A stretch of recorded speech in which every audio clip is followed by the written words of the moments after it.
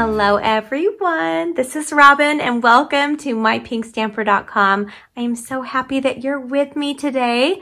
Uh, we're gonna jump right in with today's project. I am showing a fun technique using one of our embossing folders and an ink pad for the background. So this is super fun to do.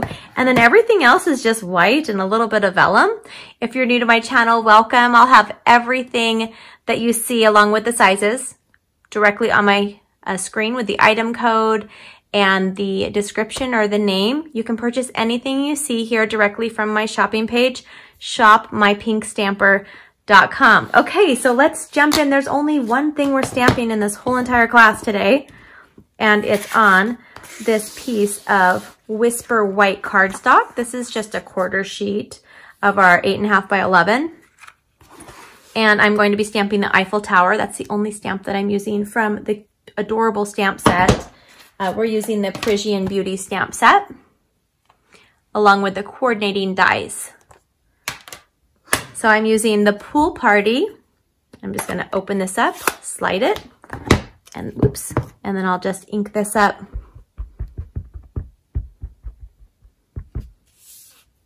And I'm going to stamp it right here that is all of the stamping that we're doing. Super easy. Okay, I'm gonna go ahead and close this and I'm gonna pull out my die cutting machine. I'm gonna add this on here and I'm taking the framelit or the die that coordinates. It frames around the Eiffel Tower. And I'm also going to be using the die that says Merci. So run this through. It doesn't have to be perfect. Remember that paper crafting, paper crafting does not require perfection. If you can remember that, you'll do great at this fun hobby. So the next thing we're going to do, we're going to be using the Parisian, I'll have the name of it on the screen. I can't remember off the top of my head. Uh, just gonna have this on a flat surface. I'm going to take our ink, my ink pad. This is the pool party again. And now our ink pads are raised and that helps so you can use any size stamp with our ink pads, but it's also fun because you can do other techniques like this one. So I'm just going to ink up directly. Isn't this so fun? If you've never tried this before, give it a shot. It's super fun technique. Okay, I'm just gonna ink this up really well. I'm gonna set this aside for a second. And I am going to get my paper. I'm gonna go ahead and just do this upside down, line this up right here. There's a little line on the bottom of the embossing folder and I'll just line that up. I'm gonna pull this forward and I'll go ahead and just run this through super quick. And then are you ready for the magic to happen? Oh, I'm so excited. This is such a really super fun technique. Ready? Okay, look at this. Me pull this out of here and then we will see what it looks like. Ah, my fingers. Okay, this is ready to go. It's all dry. It's all ready to go. And now it's time to make this a card. Okay, we have one more little item we're gonna put through my die cutting machine. So I'm gonna grab this really super quick. We're gonna be using vellum cardstock. If you haven't tried vellum cardstock, you'll wanna give it a shot. It's, well, they say cardstock, but it's really like this. It's like this. It's a little bit thinner and I love it. use it all the time. Okay, I am going to be using our layering ovals just for a little background. Run this through. Okay, now I can finish this card up.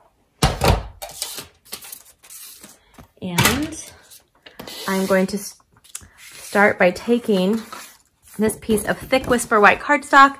is cut at five and a half by eight and a half inches and I will fold this in half. You could also score this at four and a quarter if you want to get a tighter crease. Sometimes it's a little bit bumpy if you don't score it first. That one turned out okay though.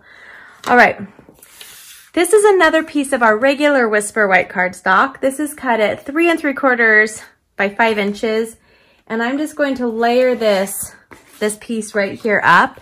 And because this piece is embossed, dry embossed, I like to put the my adhesive and I'm using our snail adhesive. I like to use, use this on all four sides and a little in the center. That way it stays nice and flat when I'm laying it down. Isn't that so fun? Okay, now what I'm going to do is I wanted this to pop up a little bit.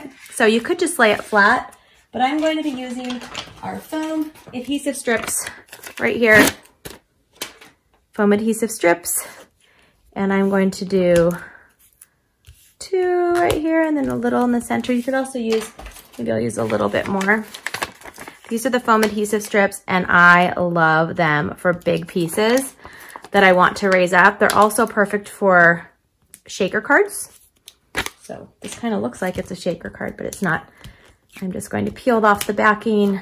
Takes literally maybe two or three seconds. And then now I'm to put this on here and you have a nice raised up dimensional look.